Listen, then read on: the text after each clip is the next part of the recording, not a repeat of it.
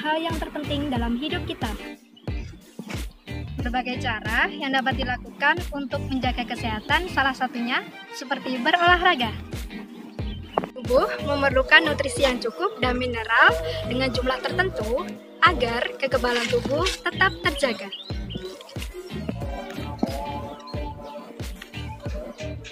Salah satu cara yang tepat adalah minum air mineral. Kekurangan asupan mineral dalam tubuh dapat menyebabkan mudah merasa lelah dan pusing, kulit menjadi kusam dan kering, terkena masalah pencernaan, terjadi dampak buruk pada ginjal, rambut menjadi kusam, kasar, dan mudah rontok sering mengalami radang otot dan sendi, serta tekanan darah jadi terganggu. Peran mineral ada banyak loh, salah satunya sebagai kofaktor enzim, mengontrol tekanan osmotik pada tubuh, membentuk struktur jaringan lunak dan keras, merawat kesehatan tulang dan gigi, membantu pembentukan zat antibodi, membantu kontraksi otot dan respon saraf, mencegah nyeri pada otot, mengendalikan keseimbangan kadar air dan asam basa dalam darah, merawat fungsi otak, menyalurkan oksigen ke seluruh tubuh, menjaga kesehatan jantung dan saraf. Kamu pasti ingin tahu kan, dari mana sih sumber air mineral ini? Perlu kamu tahu, minuman kemasan air mineral ini bersumber dari Pegunungan Pandaan yang merupakan pegunungan terkenal di Jawa Timur. Diambil dari sumber air pilihan yang masih alami dan segar.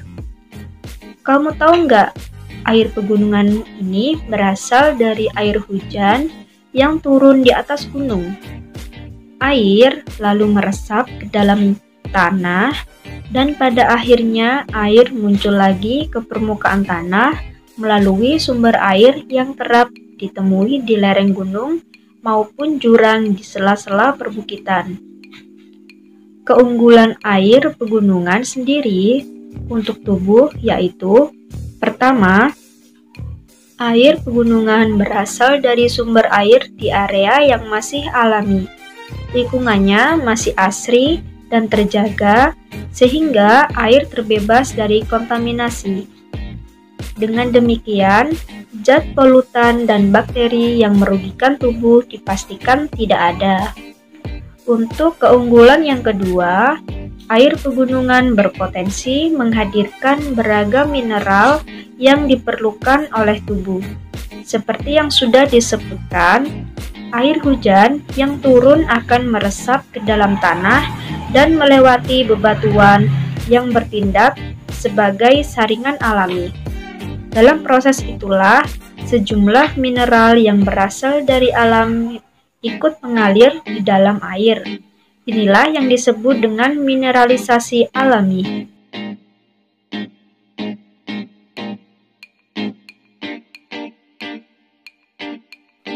Setelah kita mengetahui bahan dasar yang sangat berkualitas, Bagaimana sih proses produksinya sampai di tangan konsumen? Yuk kita intip proses produksi dari produk air mineral.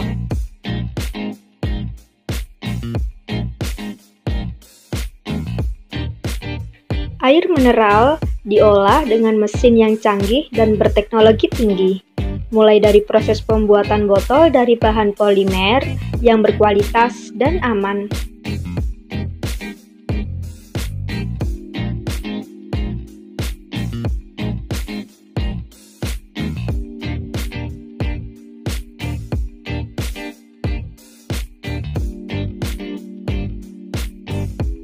Selain pembuatan botol, dalam tahap selanjutnya yaitu pengisian produk air mineral dilakukan secara otomatis. Air dari sumber yang berkualitas diisi secara otomatis ke dalam botol tanpa tersentuh oleh manusia. Sehingga, kalau ditanya mengenai kehigienisan produk, pasti air mineral sangat higienis.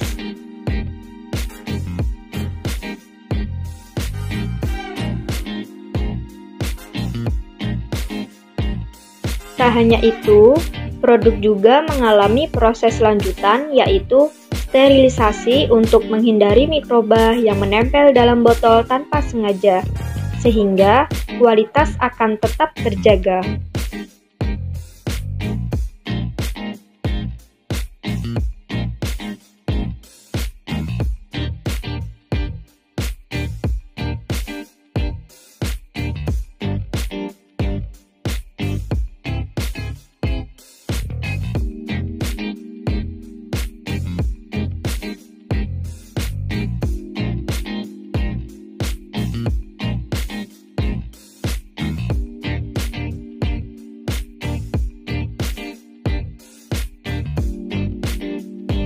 Pelabelan produk juga dilakukan secara otomatis loh, melalui mesin canggih berteknologi tinggi.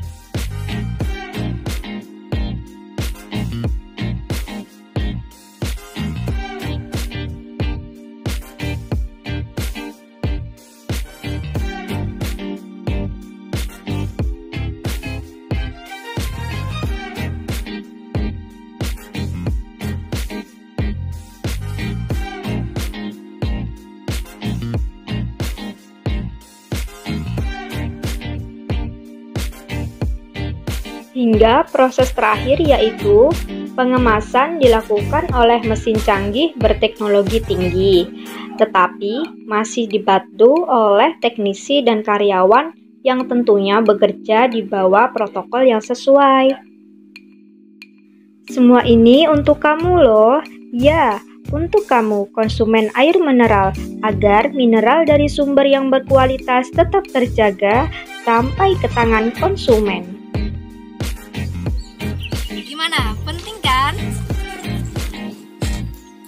Dengan mengkonsumsi air mineral setiap hari, mineral dalam tubuh kita akan tetap terjaga. Sudah tidak ragukan dengan produk air mineral? Yuk, kita beli untuk menjaga kesehatan keluarga kita.